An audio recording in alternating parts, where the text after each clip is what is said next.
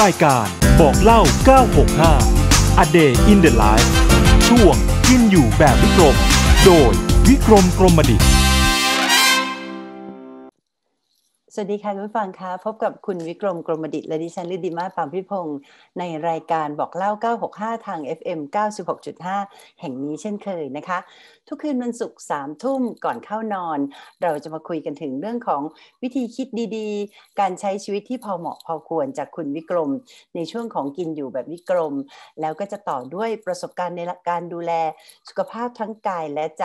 ในช่วงของ Healthy Talk นะคะ และวันนี้เราจะได้มาพบกับนักเขียนที่มากความสามารถท่านหนึ่ง ที่ฟันฝ่าชีวิตหนำหนาวร้อนๆมา จนหน้าที่จะมาบอกเล่าให้คุณผู้ฟังได้รับทราบถึงวิธีการฝ่ามรสุมชีวิตนั้นมาได้นะคะ ท่านผู้นั้นก็คือคุณชมัยพรแสงกระจ่างค่ะคุณผู้ฟังคะเมื่อวันศุกร์ที่แล้วนะคะ คุณวิกรมก็ได้ชวนให้เราคิดกันนะคะว่าคนที่จะประสบความสำเร็จเนี่ยจะต้องรู้จักตัวเองแล้วก็มีเป้าหมายในชีวิตที่ชัดเจน มาถึงวันนี้คุณวิกรมจะ มาสอนวิธีการทำนายอายุ ให้เราได้ทราบกันละค่ะว่า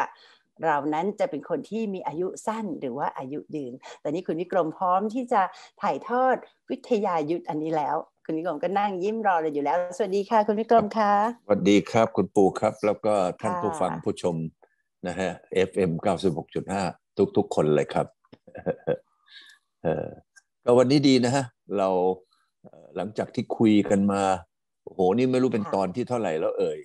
เดิมทีก็เขียนเบอร์ตอนตอนหลังก็ลืมเขียนเบอร์ตอนไปละเออมาเริ่มกินอยู่เรื่องสุขภาพเนี่ยก็วันนี้เราก็จะมาคุยกันในเรื่องของว่า เอ๊ะทำยังไงเอ่ยเอ่อจากอาศัยที่ผมเห็นอาศัยจากที่เราได้อ่าน แล้วก็ได้คิดว่าคนที่แอคทีฟคนที่เอ่อเอ่อออกกำลังกาย คนที่ไม่อยู่นิ่ง มักจะอายุยืนนะฮะแล้วก็ค่ะมักจะเอ่อเรียกว่ามีสุขภาพที่แข็งแรงแหละถึงอายุยืนค่ะผมก็เลยเมื่อประมาณสักเอ่อหลายปีมาแล้วสิ คือผมเนี่ยดีอย่างหนึ่งเอ่อเมื่อคืนนี้ก็เหมือนกันเมื่อเช้านี่เมื่อคืนเมื่อเช้านี้ก็พอนึกอะไรได้ก็จะเขียนเขียนเขียนไว้ที่สมุดโน้ตอะนะฮะค่ะเอ่อว่าเอ่อเป็นคำคมเป็นประโยคหนึ่งนะเอ่อ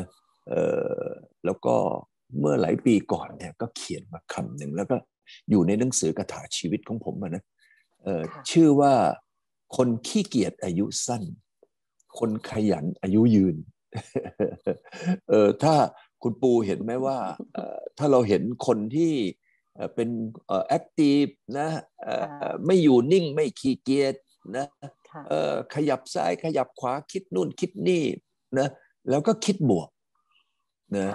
ยิ้มให้กับชีวิตนะคิดแต่สิ่งดี ๆ ให้กับตัวเอง เออ พวกนี้จะอายุยืน แน่นอนพันธุกรรม พันธุกรรมก็เป็นส่วนหนึ่งนะ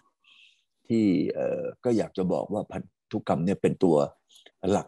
นะฮะอย่างกับที่เคยคุยเรื่องคุณพ่อตาผมเนี่ยทำไมคุณพ่อตาผมท่านถึงอายุยืน ก็เพราะพันธุกรรม คุณพ่อตาผมนี่เอ่อเอ่อตอนนี้นี่เลยร้อยกว่าไปแล้วเนี่ย สิ่งที่มีก็คือว่าไม่มีเลยโรคประจำตัว สักอย่างค่ะอันนี้ถือว่าเป็นคนที่โชคดี มีบุญ อันนี้เรียกว่ามีบุญจริง ๆ เพราะว่าจากอะไรพันธุกรรม คุณพ่อคุณแม่เออเป็นคนที่แข็งแรงเออคุณเอ่อพ่อตาผมนี่ก็เนี่ยไม่เป็นอะไรเลย อันที่หนึ่งอันที่สองเนี่ยไปอยู่ในระบบของที่ว่าเอ่อเป็นบ้านพักคนชรา ฉะนั้นค่ะก็มีเพื่อน มีระบบที่ดี มีอาหารนะฮะมีการออกกำลังกาย มีสิ่งแวดล้อมที่ดี ก็เลยทำให้อายุยืน แต่ที่สำคัญคือคุณพ่อตาผมเนี่ยเป็นคนแอคทีฟเออเป็นคนที่ค่ะสามารถที่จะอยู่คนเดียวได้ เขียนไอ้นู่นทำไอ้นี่ ฉะนั้นตรงนี้แหละครับ ผมก็เลยวันนี้เลยอยากจะเอาเรื่องนี้มาพูดคุยให้กับแฟนรายการฟังกันนะว่า เออ ถ้าเราไม่ขี้เกียจ เมื่อวานเมื่อวานนี้ผมก็เพิ่งคุยกับทางเอ่อคุณนวรัตน์พงษ์ไพบูลย์นะฮะมบอกว่าเนี่ยค่ะอจรวก็รัตน์มีฮะก็บอกว่าเนี่ยคุณนวรัตน์ตอนนี้ 82ละโอ้คุณนวรัตน์เนี่ยยังต้อง active ยังต้องอะไร เพราะว่าคุณนวรัตน์นี่ไปได้ไกลค่ะเอ่อวายกันหน่อยนะ เห็นไหม active เออ active แล้วก็บางคนนี่ถ้าเกิดขี้เกียจชอบอย่าไม่อยากจะทำอะไรอยู่สบายๆคำว่าสบายๆของคนสูงอายุคือทำไมเอ่ยไม่ต้องทำอะไรนั่งนั่งนั่งนั่งนอนนอน นั่งแล้วก็เออกินหนักเข้าไปอีก แล้วก็พวกเนี้ยก็จะติดเตียงอีกไม่นานนั้นฉะนั้นตรงนี้แหละครับก็คือนั่นก็คือคนที่ไม่ขยันไงคนที่เกียจขี้เกียจผมก็เลยเขียนเป็น ให้มันคล้องจองกันนะฮะว่าคนขี้เกียจอายุสั้น แต่คนที่แอคทีฟเออก็จะอายุยืน คราวนี้ค่ะตรงเนี้ยการออกกำลังกายก็ดี การทำอะไรก็ดีเนี่ย ให้มันพอเหมาะกับร่างกายของเราคุณปู่ค่ะวันนี้มันก็มีปัญหาเหมือนกันนะว่าบางคนเนี่ยเออตายเร็วเออเพราะอะไรโอเวอร์นะ ออกกำลังกาย เออ คนจีนเขามีคำหนึ่งเขาพูดว่า อย่าไปคิดว่าตอนที่ตัวเองเป็นฮีโร่ เออคือตอนเป็นฮีโร่นี่ก็หมายความว่าตอนนั้นฉันเนี่ยสามารถทำอะไรก็ได้ ดั่งใจนะฮะที่เออเราอยากจะทำเห็นไหมฮะ ก็ตอนหนุ่มๆสิหนุ่มๆเนี่ยจะปีนผา จะปีนป่ายอะไรจะทำอะไรจะกินอะไรจะเที่ยวยังไง ก็ทำได้ แต่ตอนนี้ไม่ได้ฮะตอนนี้ก็ต้องมาดูว่าคำว่าพอเหมาะพอดีนะเราเนี่ยแหละต้อง activeแต่ต้องให้มันพอเหมาะพอดีกับเอ่อสุขภาพ สุขภาพเราเนี่ยมันมีการปรับตัวนะคุณปู่ค่ะเช่นสมมุติบอกว่าเราจะเป็นนักวิ่งมาราธอนเนี่ย เราก็เริ่มตั้งแต่ค่อย ๆไปนะไม่ใช่ไปวิ่งทีเดียว4 40กิโลเลยอะอันนั้นน่ะแย่นะฉะนั้นการที่เราเนี่ยแอคทีฟก็คือว่าต้องดูร่างกายเราด้วย เออนะว่า เอ๊ะร่างกายเราไหวไหมเอ่ยเออให้พอเหมาะพอดีกับร่างกาย แต่ก็ต้องเรียกว่าเรียกว่าทำไมแอคทีฟนะฮะ ถ้าเกิดว่าเราเรามีความคิดแล้วมีพื้นฐานอย่างนี้เนี่ย เราก็จะกลายเป็นคนที่ไม่เสี่ยง หมายความว่าเราขยัน แต่ขยันหลาย ๆ คนนี่ขยันแล้วก็ปรากฏว่าหัวใจวายตายมอย่างกับเนี่ยอย่างกับดรสุรินทร์พิศวรรณเนี่ยนะเพราะว่าค่ะท่านสุรินทร์เนี่ยก็มาเคยมาร่วมงานกันที่อมตะเออผมก็บอกทางดรสุรินทร์ไปบอกว่าเออเนี่ยสงสัยเอ้ยต้องเพลาๆลงนะ ผมคุยกับดรสุรินทร์เรื่องเพลาๆลงเนี่ยอย่างน้อยห้าครั้งโอ้โห เพราะว่าผมเห็นท่านดรสุรินทร์เดินทางเนี่ยผมว่าไม่น่าจะคนอายุหกสิบแปดเดินทางแบบนั้นค่ะเห็นไหมฮะ แล้วก็เสร็จแล้วก็เป็นไง หัวใจวายค่ะเพราะว่าทำงานเกินกำลังของตัวเรา เพราะว่าเมื่อก่อนนี้เราทำงานอย่างนั้นได้ไงเขาบอกว่าเอ้ยเมื่อก่อนเนี่ยอ้วก็เดินทางแบบนั้นได้ แต่ปรากฏว่าไม่ได้ ฉะนั้นการที่เราเนี่ยทำให้เราเนี่ยให้มันพอเหมาะกับร่างกาย แล้วก็ที่สำคัญที่สุดต้องหาสิ่งที่ตัวเองชอบมาทำเนอะไม่ใช่ฉันทำทำทำอะไรเลยไปทำอะไรโดยบังคับตัวเองให้ไปทำให้แอคทีฟก็ไม่ได้ วันนี้คนเราพออายุเยอะแล้วหนึ่งเราก็มีเงินแล้ว อันที่สองเรามีเวลาแล้ว อันที่สามเรามีประสบการณ์แล้ว ใช่ไหมเออ เราก็ทำไมเอ่ย มาดูที่ว่าเอ๊ะจริง ๆ ฉันชอบอะไรเอ่ยนะ เออฉันทำอะไรที่ฉันมีความสุข แล้วก็ไปทำตรงนั้น แล้วนอกจากมีความสุขแล้วยังมีประโยชน์อีกนะค่ะแล้วมีประโยชน์คำว่ามีประโยชน์ก็ไม่จำเป็นว่าจะต้องเป็นเงินทองนะเออเอ่อเป็นประโยชน์ต่อตัวเอง ในเรื่องของว่าตัวเองทำแล้วรู้สึกมันดีนะฮะแล้วก็ช่วยเหลือคนอื่น เออ อันเนี้ยผมว่าเออเป็นสิ่งที่คนที่ทำไมล่ะเอออยากจะขยันตอนที่อายุเยอะๆอย่างกับผมตอนนี้กลับมาพูดตรงนี้เรื่อย ก็เพราะว่า มันอายุเยอะแล้วนะฮะแล้วเรามาดูสิบอกว่าเออถ้าเราทำอย่างนี้ได้อย่างเงี้ยเราก็จะอายุยืน เราไปดูที่ผมสังเกตเลยนะ ผมมีลูกค้าเป็นคนญี่ปุ่นเยอะ แล้วก็มีพวกเนี่ยเป็นคนญี่ปุ่นแยะ คนญี่ปุ่นเนี่ยทำไมเขาถึงอายุยืน เออ แน่นอนหลายคนก็บอกว่า โอ้ คนญี่ปุ่นตัวไม่โต ไม่เหมือนอเมริกันเนี่ยตัวโต ใช่สรีละสองโอ้ยอะคนญี่ปุ่นนี่กินอาหาร ไม่ไขมัน นะย่อยง่ายเออพอเขาเป็นเกาะนี่เขาก็ทานอาหารทะเลมาใช่ไหมฮะอันที่สามโอ้คนญี่ปุ่นเนี่ยเขาทำไมล่ะเขามีวินัยเออเห็นไหมเออก็ใช่ ก็คนญี่ปุ่นทำอะไรมีวินัยหมดเลย พอหมอบอกอะไรบอกว่าเฮ้ยหรือห้ามกินเอ่อเอ่อเบียร์นะห้ามกินเหล้านะเพราะหรือมีเอ่อโรคเบาหวานนะเขาหยุดทันทีเลยอืมคือความมีวินัย แต่สิ่งหนึ่งที่ผมเห็นคนญี่ปุ่นเลยเนี่ย คือเขามี positive thinking อืมค่ะเขาคิดเขาคิดบวก เขาคิดเอ่อดีแล้วที่สำคัญที่สุด คนญี่ปุ่นเนี่ยเขาชอบจับกลุ่ม จะเห็นว่าคนญี่ปุ่นไปเดี่ยวๆเนี่ยไม่ค่อยเยอะเออค่ะพี่ไทยอะพี่ไทยอะไปเยอะ พี่ไทยเราจะไปเดี่ยว คนญี่ปุ่นนี่ชอบเป็นกลุ่ม เขาจะมีความรู้สึกว่าเขาปลอดภัย เขารู้สึกว่าเขาสนุก เขารู้สึกว่าเขาอบอุ่น ฉะนั้นทำให้คนญี่ปุ่นเนี่ยถัวเฉลี่ยนะ กลายเป็นคนที่มีอายุเนี่ยอันดับสองของโลกเลยทีเดียว ผู้หญิงเนี่ยค่ะผู้หญิงเนี่ยอายุถึงแปดสิบเจ็ดปี ผู้ค่ะชายเนี่ยผู้ชายเนี่ยอายุถึงแปดสิบเอ็ดปี โอ้โหนี่เขาเอ่อจากเหตุผลเมื่อกี้ไงก็ทำให้เขาเนี่ยอายุยืน แต่สิ่งหนึ่งที่ผมสังเกตดูคนญี่ปุ่นเนี่ยเขาไม่หยุดไอ้แบบว่าจะมานั่งงอมืองอเท้าขี้เกียจ ไม่มีในสายเลือดคนญี่ปุ่น คนญี่ปุ่นเขาบอกว่า ถ้าจะหาคนที่อ่านหนังสือไม่ได้ อ่านไม่ออกนะ แล้วแล้วกินเนื้อของเขาเนี่ยก็จะเป็นชีวิตจะเป็นอมตะ มันมีสมัยก่อนนะเขาพูดว่าอย่างนั้น ไอ้นั่นก็หมายความว่าคนญี่ปุ่นเนี่ยนะเป็นคนที่เรียนรู้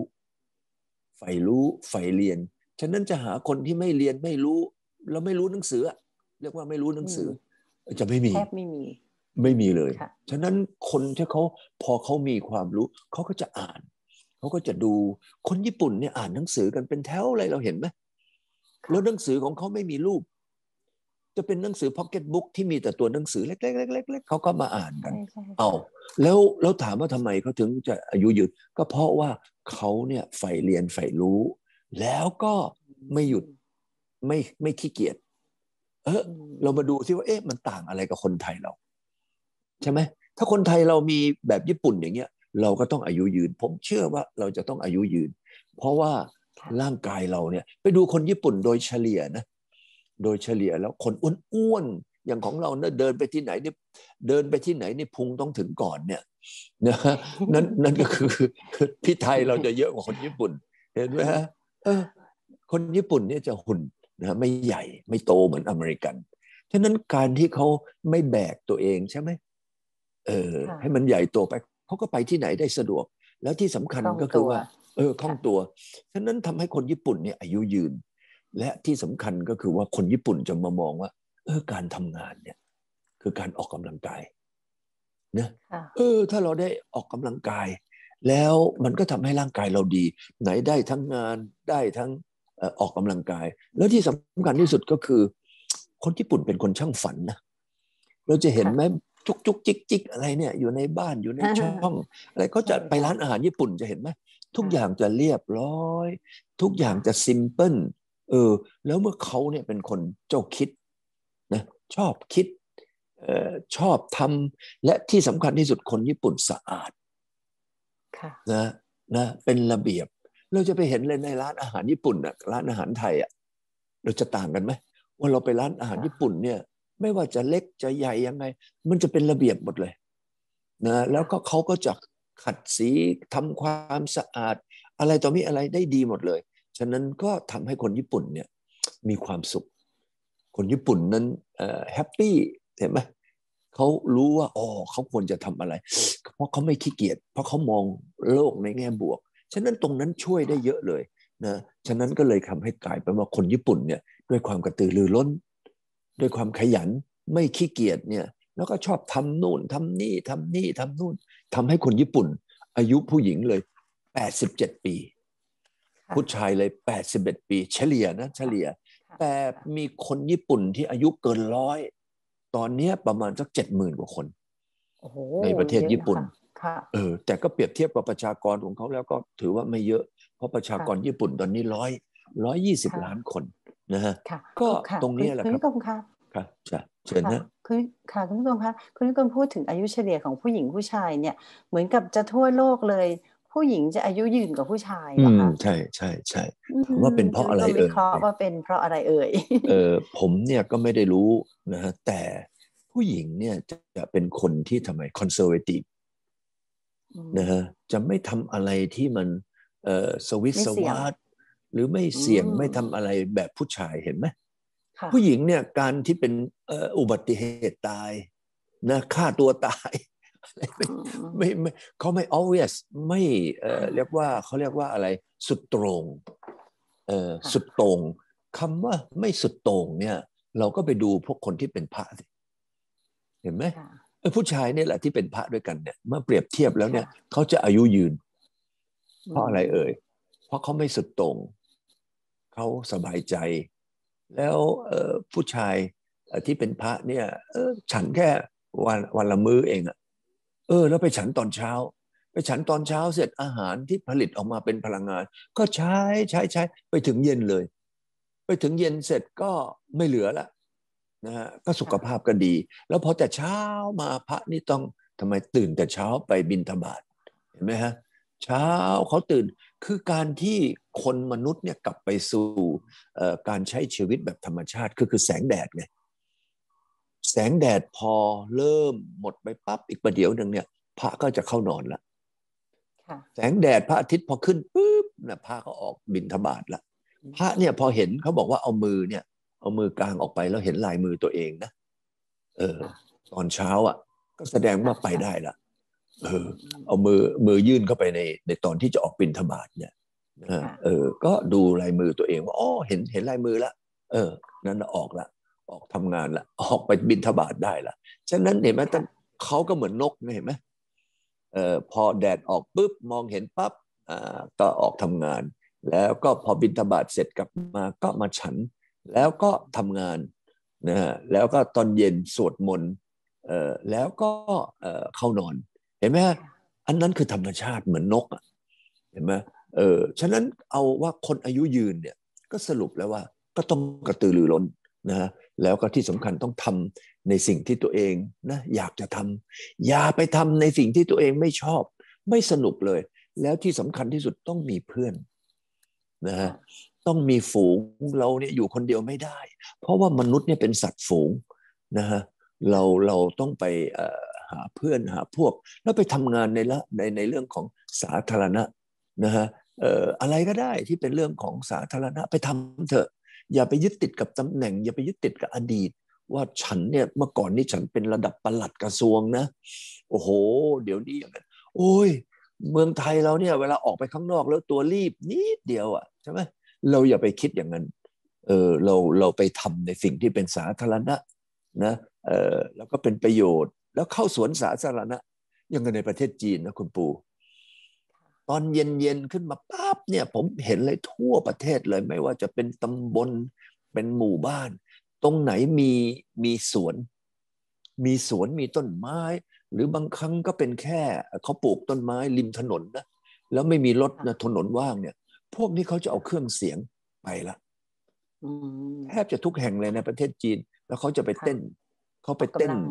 ออกกำลังเขาภาษาจีนเขาเรียกว่าเต้นถูฟงอู่ ก็เป็นแบบว่าเต้นแบบโบราณ โบราณเต้นแบบโบราณ แล้วก็ลำไทยเก๊กถ้าสัดส่วนของประชาชนของจีนแล้วเนี่ยผมว่าเนี่ยสูงมากๆ สูงที่สุดในโลกตามสัดส่วนของประชากรนะว่าตอนเย็นกับตอนเช้า สวนต่างๆ นี่จะเต็มไปด้วยผู้คน หรือไม่ใช่สวนยังก็เอาเรายกตัวอย่างเรามีสวนลุมใช่ไหมค่ะ เออ สวนลุมเนี่ยก็เป็นเอ่อที่ที่คล้ายๆอย่างนั้นนะฮะแล้วสวนลุมนี่ยังมีอีกนะ มี corner นะอ่ามีเครื่องดื่ม มีอาหารอะไรต่ออะไร พอเอ็กซ์ไซส์เสร็จแล้วใช่ไหมเออมานั่งพัก มานั่งคุยกันต่อ เออจะบักกุดเต๋มั่งจะอะไรต่ออะไรไม่รู้เต็มไปหมดเลยนะว่าข้าวต้มอะไรต่ออะไร ฉะนั้นตรงนี้ครับ ผมว่าคนที่เออเรามาสรุปกันทุกคน ไม่ว่าจะเป็นคนอายุมากอายุน้อย ถ้าขอให้เขาเนี่ยอย่าขี้เกียจนะฮะขอให้เขาเนี่ยทำในสิ่งที่เหมาะสมกับร่างกาย แล้วก็ขอให้เขาเนี่ยมีจิตใจที่เบิกบาน มองโลกนะฮะเอออย่าไปเออมองเนกาตีมองอะไรที่มันลบ เมื่อเช้านี้ผมเพิ่งเขียนคาถาชีวิตไปคำหนึ่งนะฮะบอกว่าอย่าเอาอดีตให้มาเป็นอุปสรรคนะฮะต่ออนาคต อันนี้เป็นคาถาชีวิตล่าสุด แต่จริง ๆ ก็เขียนคล้าย ๆ อย่างนี้มาเยอะแล้วแหละ แต่ก็คือพอดีไปนึกถึงว่าเนี่ยตัวเองเนี่ยตอนเนี้ยมีปัญหามายุ่งยากไอ้นู่นไอ้นี่ มันทำให้เราไปนึกถึงตรงนั้นแล้ว มันก็จะเป็นอุปสรรคในการที่เราจะทำอะไรในอนาคตนะฉะนั้นวันเนี้ยก็เลยอยากจะบอกว่าถ้าเกิดว่าแฟนรายการทุกคนนะฮะวันเนี้ยที่ดูรายการเราอันเนี้ยนะฮะไปถามตัวเองใช่ว่าใช่ไหมเอ่ยไอ้อย่างที่เราพูดมาเนี่ย ถ้าเกิดใช่ก็แสดงว่าเราไม่แอคทีฟไม่ขยัน อ่า อันนี้ค่ะอายุไม่ยาวแล้วนะฮะค่ะถ้าเกิดว่าเราปรับนะเราเอ่อเปลี่ยนไปทำอย่าไปหยุดนิ่ง คือการพักเนี่ย ผมว่ากลางคืนเอากลางคืนทำไมนอนไม่หลับอีก เพราะกลางวันขี้เกียจแล้วเพราะว่ากลางคืนกลางคืนเราก็ทำไม เพราะกลางวันเราพักไงกลางคืนก็นอนไม่หลับทรมานนะค่ะ ใช่ไหมเอ่ยเอ่อเอ่อคุณปูเคยไหมว่ากลางคืนเรานอนไม่หลับเนี่ยนะฮะเรารู้สึกทรมาน เออ เพราะอะไรเอ่ยเพราะกลางวันเราเนี่ย ไม่ขยันไงถ้ากลางวันเราทำไม่นู่นทำไม่นี่ทำอะไรต่ออะไรกลางคืนนี่เป๊ะเลย ผมเนี่ยเป็นคนที่ทำอะไรตามนาฬิกาชีวิต ผมอาจจะเป็นเอ่อทำอะไรจะไม่ไม่ปกติ คือผมเนี่ยจะเมื่อรู้สึกว่าตัวเองเอ่อสดชื่นก็จะทำงาน แต่เมื่อรู้สึกว่าตัวเองนี่อ่อนเพลียก็จะไปพัก ฉะนั้นผมจะมีวิธีพักนะก็คือว่ากลางวันเนี่ยทานข้าวไปแล้วผมจะพักนะครึ่งชั่วโมงถึงชั่วโมงหนึ่งแล้วนอกนั้นเนี่ยผมจะไม่มีหยุดเลยทำตุ่มตุ่มตุ่มตุ่มตุ่มไปนะฮะจนถึงกลางคืนเนี่ยเออง่วงละง่วงแล้วผมก็จะหลับเลย แล้วผมหลับนี่หนึ่งช็อตเลยฟืดไม่ตื่นเลย ไปตื่นทีนึงก็ผมก็ลุกขึ้นมาแล้วเข้าห้องน้ำหน่อย แล้วเสร็จแล้วผมก็ทำไมมาทำกดไอ้นู่นกดไอ้นี่ตอนนี้กำลังเขียนบทละครนะโอ้บทละครไม่ถึงขนาดบทละครเอ่อบทละครอย่างนั้น ก็เป็นตอนค่ะนะฮะผมตั้งขึ้นตอนหนึ่งว่าเอ่อเมื่อกินน้ำต้องคิดถึงคนขุดบ่อนะฮะอืมเอออันนั้นตอนหนึ่งเอ่อเขียนส่งไปแล้วเมื่อคืนนี้ ก็จะมากดกดกดกดกดกดนะฮะเอ่อเมื่อก่อนนี่ใช้มือเขียนเฮ้ยตอนหลังมานี่ใช้ iPad มากด แล้วตอนนี้ก็มีอีกตอนหนึ่งนะฮะเอ่อ ชื่อตอนว่าเออเออเป็นตอนของเอ่อที่เราโบราณแล้วแหละนะฮะเออก็คือตอนที่เราอายุมากแล้ว เราก็กลับไปนึกตอนเก่าก็คือว่าเรื่องความฝันว่า โอ้ตอนเด็กๆนะเราเป็นคนชอบฝัน แล้วฝันที่ไม่ได้เสียสตังค์แล้วก็ความฝันนั้นนะก็เป็นเส้นทาง เป็นแนวทางให้เราเดินมาถึงทุกวันนี้ นั่นนะครับ ก็เป็นละครว่าเอ่อความฝันไม่เสียสตังค์ ความฝันไม่มีต้นทุนเออเออเออเนี่ยนะก็อย่างนี้แหละครับชื่อนะเราตื่นขึ้นมาแล้วเราก็มาทำพอทำจนง่วงเสร็จก็นอนต่อ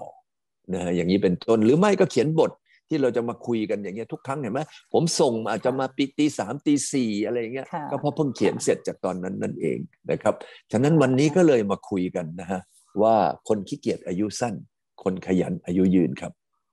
ค่ะที่คุณวิกรพูดมาทั้งหมดนี่ก็เพื่อที่จะยืนยันวิธีการทำนายอายุด้วยคาถานี่เองนะคะ คนขี้เกียจอายุสั้น คนขยันอายุยืนผู้ฟังที่อยากจะมีอายุยืนแล้วก็มีความสุข เราก็มาขยันกันอย่างที่คุณวิกรมแนะนำ แล้วก็เรามาเป็นกำลังใจให้กันละกันนะคะ คุณวิกรมคะคุณวิกรมมีอะไรจะบอกคุณผู้ฟังนะคะอันแรกเลยก็ขอให้ตุดจีนเนี่ยนะครับ ก็บอกว่าสิ้นเหนียนไข้เลอ 万事如意身心健康事事顺利นะฮะอันนี้ก็เป็นวันกุดจีนที่จะถึงนะครับ อันที่สองก็คือเดี๋ยวผมเนี่ยอาจจะต้องขอ คุณคุณ ทำ วิ ราย กรมแปล การ นิดนึงได้ไหมคะ อ๋อเออก็บอกว่า 新年 เอ่อเออก็เออแฮปปี้นิวเยียร์นะฮะ อ่า ขอให้ ค่ะ ทุกสิ่งทุกอย่างในโลกนี้นะฮะประสบนะฮะแก่ความสำเร็จนะฮะตามดั่งใจปรารถนา แล้วก็กิจการงานอะไรก็ขอให้สมูทนะฮะให้ราบรื่นค่ะนั่นนะครับค่ะนี่นะครับ แล้วที่สำคัญก็คือค่ะสุขภาพต้องแข็งแรงนะฮะอันนั้นก็เป็นคำแปลค่ะนะฮะเป็นภาษาจีนกลางค่ะขอบนะคุณครับค่ะยินดีค่ะฮะแล้วก็อันสุดท้ายก็อยากจะขอนะฮะเอ่อ say goodbye สำหรับรายการนี้นะฮะเดี๋ยวยังไงมีโอกาสจะกลับมาเพลินผมมันตอนนี้ยุ่งมากนะฮะแล้วก็เลยรู้สึกว่าตัวเองแบกมากไปนิดนึงนะแต่ยังไงก็ยังเจอ ยังเจอกัน FM 96.5 เหมือนเดิม วันศุกร์เวลา9โมงเช้าถึง 10 โมง อันนี้ทำมาน่าจะย่างปีที่ 17 18 แล้วนะฮะแล้วก็วันอาทิตย์นะฮะก็ยังมีโลกเปลี่ยนสีที่ทางเราไปทำเป็นนะฮะเอ่อเอ่อเสียงนะฮะอันนั้นก็มียังเจอกันอยู่ที่สถานีนี้แหละครับ แล้วยังไงเอาไว้จะกลับมาครับนะครับค่ะโชคดีนะครับน่าเสียดายเป็นน่าเสียดายจริง ๆนะคะ แต่ยังไงก็ตามอย่างที่คุณวิกรมบอกนะคะว่าเอ่อจะทำอะไรเราก็คงจะต้องพอเหมาะพอควรกับอืมอายุกับเอ่อกำลังวังชาอืมของเราคุณวิกรมก็ได้ทำให้เป็นแบบอย่างกับเราแล้ว ยังไงก็อืมไปพบกับครับคุณวิกรมได้ในเอ่อช่วงเวลาอื่น ๆนะคะ ทาง FM 96.5 วันนี้กลับขอบพระคุณคุณวิกรมแล้วก็สวัสดีนะคะ สวัสดีครับค่ะ Happy New ลาคุณ Year วิกรมซินเจแทนโรอีครับครับค่ะสวัสดีลารับคุณวิกรมแทนแฟนรายการด้วยนะคะค่ะคค่ะรับแล้วก็คเราบก็โชคจะดีกลับครับมาพบกับ Healthy Talk นะคะ วันนี้ครับเราจะได้คุยกับอาจารย์ชมัยพรแสงกระจ่าง หรือคุณไพลินรุงรัตน์ศิลปินแห่งชาติสาขาวรรณศิลป์ค่ะ รายการบอกเล่า 965 A Day in the Life ช่วงกินอยู่แบบวิกรม โดยวิกรมกรมดิษฐ์